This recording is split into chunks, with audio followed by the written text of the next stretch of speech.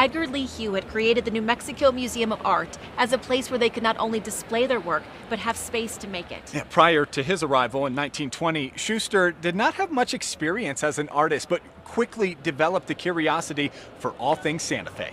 He was interested in trying his hand at whatever he could get a chance to practice. So, painting, printmaking, uh, eventually creating the monster that we know as Zozobra, all came from him trying to make the most of the short time that he thought he had left. He became drawn to like minded artists. They believed deeply that art should speak to, in their own words, you know, the uh, peasant worker in the same way that it spoke to any connoisseur or curator or museum director. They developed Santa Fe's first art collective, Los Cinco Pintores. And part of this was simply that they were five painters, and the other part was that they wanted to honor the Hispanic uh, identity that was already here in New Mexico and show that they appreciated um, what their adopted culture had to bring to them. Shuster, along with Fremont Ellis, Walter Mruk, Joseph Bakos, and Willard Nash, all had different inspiration for their work, but they shared the same goal bring art out of museums to the people. They brought the bohemian art scene here to Santa Fe. They really broke the mold of academically trained artists